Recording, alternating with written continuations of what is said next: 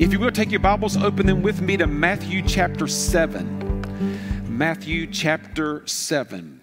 And so, in trying to decide what I was going to preach this morning and, and make available for live streaming this evening, I thought about how this past Sunday we concluded Luke 15 with reflection on especially the elder son and how much he reflected the Pharisees, the scribes, who were finding fault with Jesus, eating with sinners, dining with them, trying to share the gospel with them.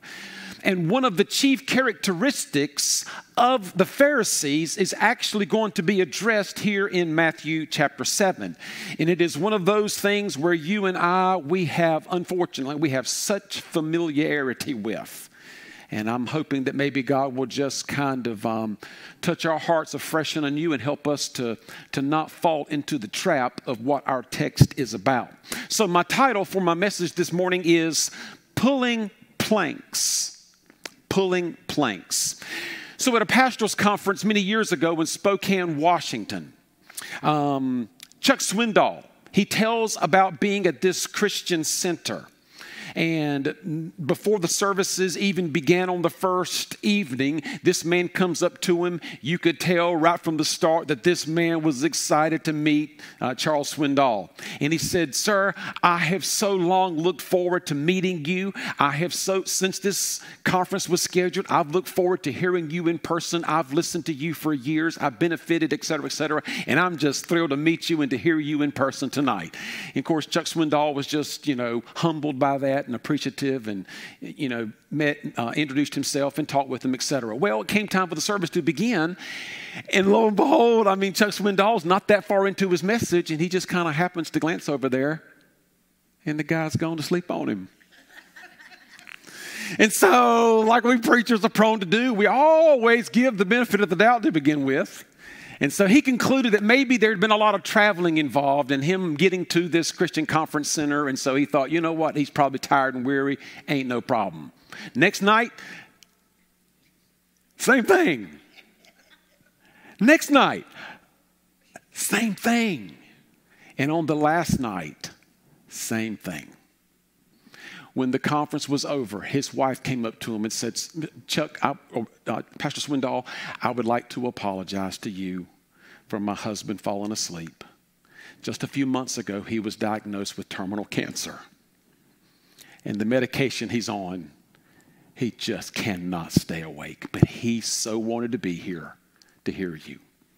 Boy, isn't it so easy to draw wrong conclusions about people?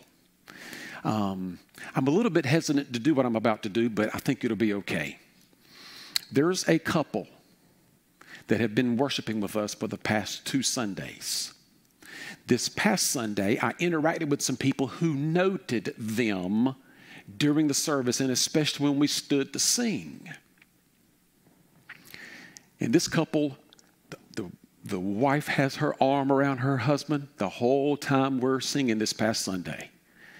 And people who observed that thought to themselves, well, boy, they really are loving on each other, even, even during a congregational worship service.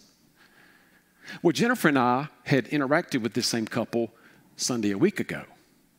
And the whole time we interacted with them, he's, he's kind of he's kind of moving back and forth and he's kind of shaking his head some. And I, I'm, I'm thinking to myself, something, something's a little off. And then next thing I know, his wife just grabs a hold of him.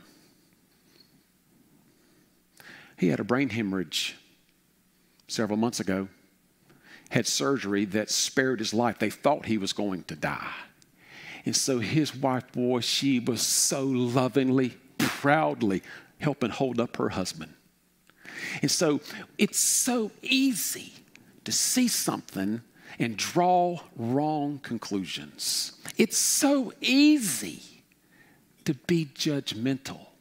And that's going to be the thrust of what we're going to be looking at here in our passage um, this morning. So I, I read this story about a guy named Andrew. Andrew, five years old, he's in kindergarten.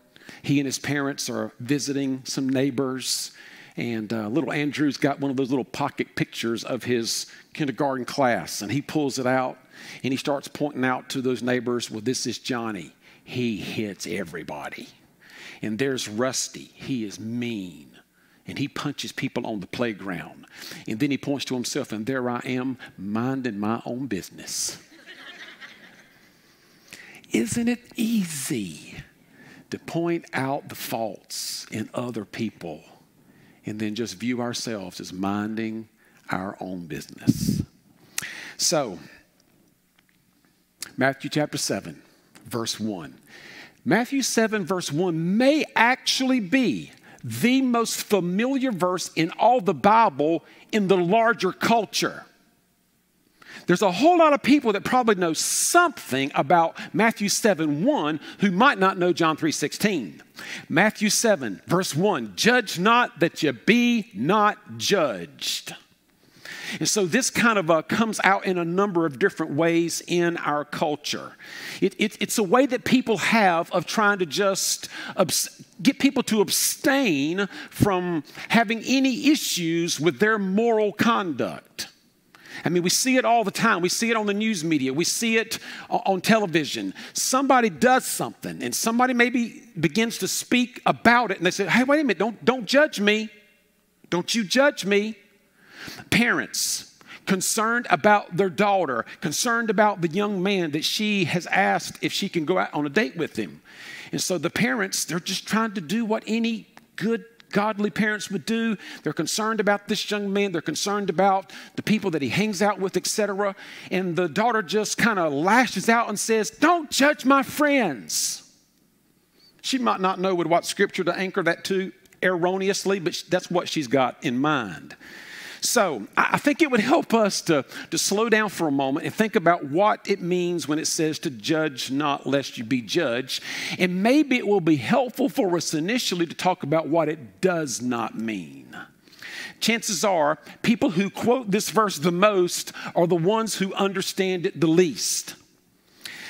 Um, a local Boston TV show featured a couple of homosexual teenagers.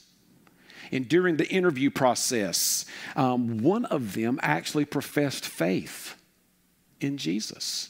And the person doing the interview said, Well, now, uh, doesn't that cause a problem? Isn't there a conflict with that and what the Bible teaches? Oh, no, the young man said. Oh, no, God accepts me and loves me just the way I am. Other people shouldn't judge me. Well, that is not what Matthew chapter 7, verse 1 is teaching. Um, so let, us imagine that um, you have a coworker, and the coworker is kind of skimming off some funds. Let's say he's in accounting and he is skimming off some funds and he's pocketing some uh, some of the company's money. And on top of that, let's say he's cheating on his wife. I mean, you, you've, you've been, you, you're in a good friendship relationship with this person, and finally, you, you decide to get up the, the muster and say, hey, look, you, you, you know what you're doing is not right. And can't you imagine that person say, hey, man, don't, don't you judge me? Aren't you a Christian? Doesn't the Bible say, judge not lest you be judged? Don't be judging me they misunderstand what this verse is about. So when it says, judge not, lest you be judged, it does not mean that we are to refrain from all criticism. Sometimes we, we need to address issues in life, situations at work people in our family. And it might be what we could call constructive criticism. This scripture does not eliminate that. It doesn't mean that we refuse to discern between truth and error, between good and evil. When Jesus said, judge not, he's not talking about judging open and obvious sin. Um, when you get down a few verses later, matter of fact, verse 6, verse 6 talks about avoid giving what is holy to dogs avoid giving pearls to pigs. Well, okay, that's going to require me to make some judgment calls. Who's he talking about? And if I'm going to look at somebody's life to determine whether or not they fit that category, I've got to discern. I've got to be critical in my thinking about their life. So it's not saying you shouldn't do that. You get down to verse 15, Jesus says, Beware of false prophets. Well, I have to judge, if you will, what somebody is saying and teaching and instructing so if, if it's not in line with Scripture, then I'm going to beware of them. So, what does judge not mean? In essence, it means don't be judgmental. Don't be critical. Don't be a fault finder. So I read of a wife who had this hard to please husband. It seemed as if all their married life she couldn't do anything to please him. But maybe she'd been to church that past Sunday and she felt convicted to just keep on keeping on doing her best. So on this particular day, she decided, I am going to show devoted love to my husband all day long. And so, first thing in the morning, she says, Darling, what would you like for breakfast? And he kind of growls and says, I'd like, uh, I'd like toast and grits. I'd like sausage and bacon. And I'd like two eggs, one fried, one scrambled. And so she goes, she brings it to him. He looks at it and says, You scrambled the wrong egg. Now, some of you, you might want to consult with your friend afterwards to make sure you get the little joke there. Don't be judgmental. Don't be fault finding. The Lord here in Matthew 7 1 is condemning a proud and self righteous spirit. That feeling of superiority. That spirit that thinks you're right all the time and everybody else is mostly wrong. Judgmental people make assumptions about others that are almost always negative. They often express themselves in a derogatory manner. Judgmental people treat other people with contempt. The judgmental person tends to be hypercritical and delights in finding fault with others. Sadly, there are people who feel like they have the gift of criticism the gift of criticism. They feel like they're called of God to criticize other people. The only exercise they ever get is jumping to conclusions and running people down. The judgmental person rarely exercises mercy toward others, rarely shows other people grace. And so, what Jesus is talking about when he says, Judge not, is a hasty, unloving, holier than thou type of attitude. That's what he's saying, don't do. All right? So, having identified judgmentalism as the problem that we're to avoid, let, let, me just share three things about judgmentalism. First, the gravity of it. The gravity of judgmentalism. So, notice what he goes on and says Matthew 7, the first two verses Judge not, that you be not judged, for with what judgment you judge, you will be judged, and with the measure you use, it will be measured back to you. Scripture is actually teaching a boomerang principle here. It, it is saying that in part, the judgment that I'm going to face before God will be affected by my judgment of other people in the here and now. So let me see if I can maybe illustrate this to help us out. So I don't, I don't want to get too far off um, the camera screen. Let, let's just imagine that this big old pot represents the grace and the mercy that has been overflowing and just poured out on your life over and over and over again throughout your Christian experience. So having experienced this much grace and this much mercy, how many of us maybe have a tendency to maybe measure out what is that, a fourth? Or maybe, or maybe we use something smaller. Or maybe even something smaller. Or maybe, is, is it possible that some of us who have experienced this much grace, lavishly poured out on us over and over again when it comes to showing grace and mercy to others?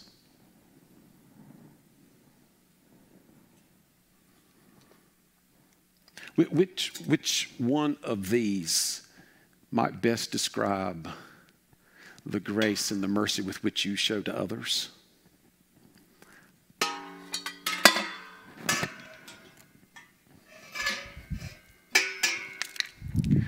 Scripture says, um, For with what judgment you judge, you will be judged, and with the measure you use, it will be measured back to you. Now, that doesn't mean that if I take an anything goes approach and never hold anybody else accountable, then the Lord won't hold me accountable either. No, God's standard is fixed but don't you want God to take His standard of judgment in your life and apply it to you mercifully, graciously? Man, I do. I sure want to stand before the Lord one day. He's already treating me mercifully. He's already treating me graciously. And when I stand before Him one day, man, I want that to be a merciful judgment. I want that to be a gracious judgment. Well, if in the here and now, yours is that little teaspoon, teaspoon, as it were. If that, well, and you're going to stand before God, do you really want Him to use a teaspoon? Or do you want Him to use a great big old bucket of mercy and grace? Um, so you and I partially set the bar for our own judgment. Listen, scripture elsewhere teaches in Luke chapter 6, verses 37 and 38 Judge not, and you will not be judged. Condemn not, and you will not be condemned. Forgive, and you will be forgiven. Give, and it will be given to you. Good measure, pressed down, shaken together, running over, will be put into your lap. For with the measure you use, it will be measured back to you. Now, the context for those couple of verses, up in verses 34 and 35, he talks about imitating God who is kind to the ungrateful and the evil. Verse 36 tells us to be merciful even as your Father is merciful. And so, man, uh, when I, okay, so Jennifer and I, we are ice cream lovers. Most of you know that we had a couple of uh, our nieces that spent a couple of nights with us. They were here specifically to visit Grandma and Granddaddy Wiggs, and they stayed in our home. And we were sharing with them our habits from yesteryear. How, like 20, 25 years ago, we would get, well, I would get, you know, the Unity plastic cups that we did, like our 20th anniversary, that size cups, kind of like the cup size you get at basketball games, football games. I would fill that up with ice cream every night. And I'm the sweet and salty kind of guy. So when I've had sweet, I got to follow it up with salty. And so we would eat ice cream and then Cheez Its every night. We had to stop. Bad stuff was happening to our overall physical well being. So now I get a cup that's about a third that size, and I get Carb Smart ice cream. And you know what I do? I scoop it in there in that cup. You know what I do then? I press it down as tight as I can get it. Put another scoop and I press it down. Well, guess what? That's similar to the imagery that Jesus talked about there in Luke. Man, you be merciful. You give graciously. You give generously. You be kind and gracious to others, and God will press it down and pour it out lavishly in your lap. So instead of being judgmental, instead of being fault finding, man, be gracious with people, be generous with them, be kind toward them, be merciful toward them. Um, so Jesus' overall point. Let me see here. Uh, I, I, I, went too far. Um, I like the way Eugene Peterson kind of paraphrases these two verses. Don't pick on people, jump on their failures, criticize their faults, unless, of course, you want the same treatment. The critical spirit has a way of boomeranging. So, we've seen the gravity of judgmentalism. Let's stop for a moment and consider the hypocrisy of judgmentalism, the hypocrisy of it. So, read with me there in Matthew 7, verses 3 and 4. And why do you look at the speck? And it might be implied the speck of dust. It's possible that Jesus is reflecting from his days growing up in his father's shop as a carpenter. And so he says, Why do you look at that speck in your brother's eye, but do not consider the plank in your own eye? Or how can you say to your brother, Hey, hey, come here, let me, let me remove that speck from your eye, and look, a plank or a log is in your own eye? So, Jesus' overall point here is why in the world do you criticize other brothers and sisters or other people in general and not take care of the stuff that's on in your own life. So you got to get the big plank, this big log out of your own eye if you want to be used of the Lord to help maybe get a legitimate little speck out of your brother's eye. So one writer says, um, you hear another believer cursing. And I can, I can remember sometimes on the golf course with people that were a part of our church, members of our church. I'm their pastor. They hit a bad shot. Whoop. I'm thinking, what did you just say? Oh, I'm, I'm sorry, I'm sorry, I'm sorry. So I- imagine that in humility, you gently and lovingly correct that person in private. You don't, you don't embarrass them. Hey, man, look, what, what, what about that, that, that, that cursing? I'm, I know you hit a bad shot, but come on. And then that person who lovingly, gently, privately corrected that person about his or her cussing, then turns around and gets on the phone and gossips to beat the band. Hold on a minute. Get that log out of your eye so that you might effectively help the brother or the sister get his or her speck out of their eye. Imagine a father he is legitimately concerned about his daughter's dress. Any Christian father ought to be. Wants her to be modest, etc. And so he looks at her wardrobe, he makes her change clothes, etc., etc., etc., etc. She goes out modestly dressed, and her father has given his approval. And then no sooner has he has she gone out the door that he sits down and on the computer is looking at inappropriate images. Come on, Dad. Get the log out of your eye before you try to get the speck out of your brother or sister, or in this case, daughter. I like what John Stott says. He says, We have a fatal tendency to exaggerate the faults of others and minimize the gravity of our own. We seem to find it impossible when comparing ourselves with others to be strictly objective and impartial. On the contrary, we have a rosy view of ourselves and a jaundiced view of others. Indeed, what we are often doing is seeing our own faults in others and judging them vicariously. That way, we experience the pleasure of self righteousness without the pain of penitence.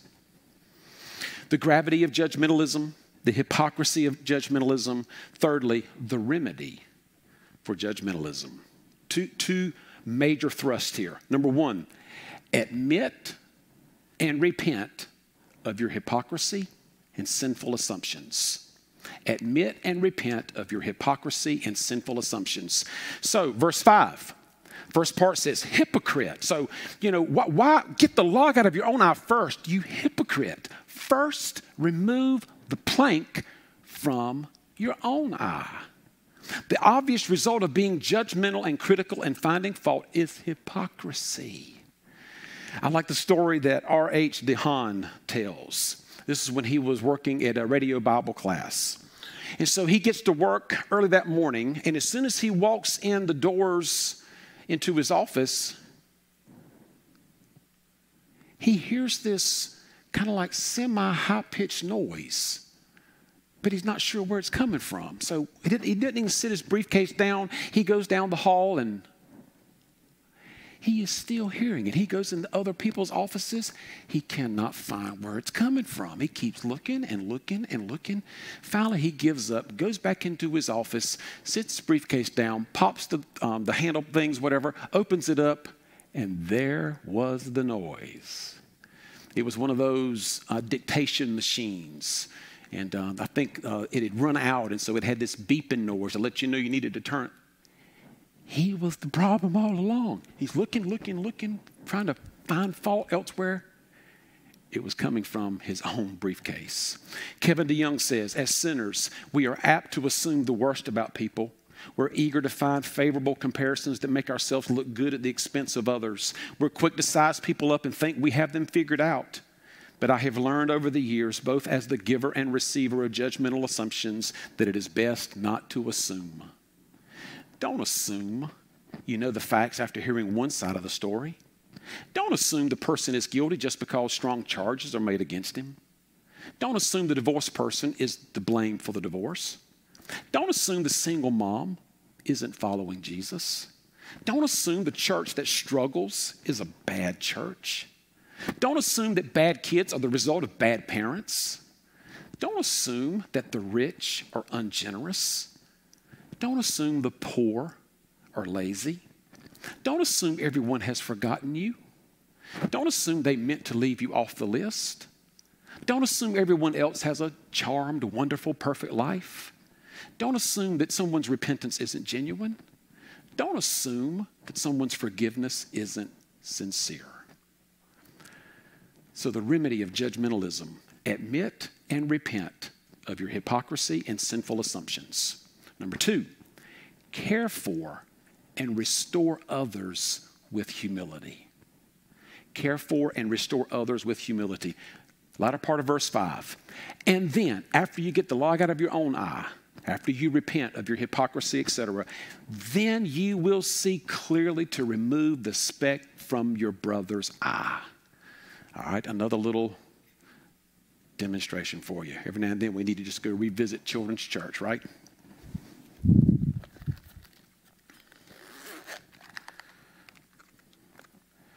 So,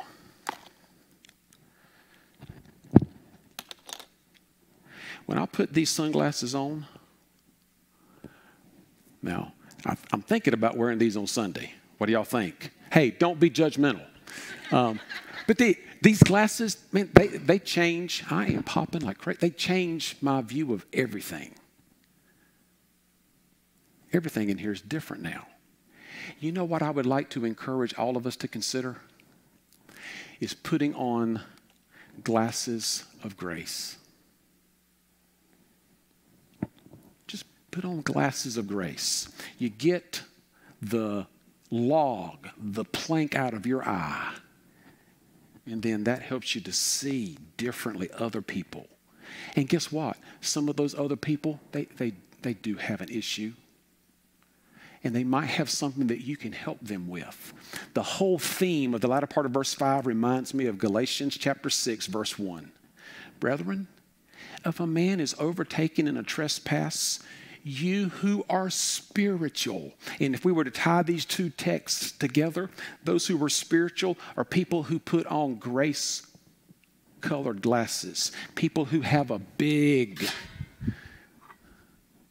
a big dispenser of grace. Those are the spiritual ones. You who are spiritual, restore such a one in a spirit of gentleness, considering yourself, lest you also be tempted.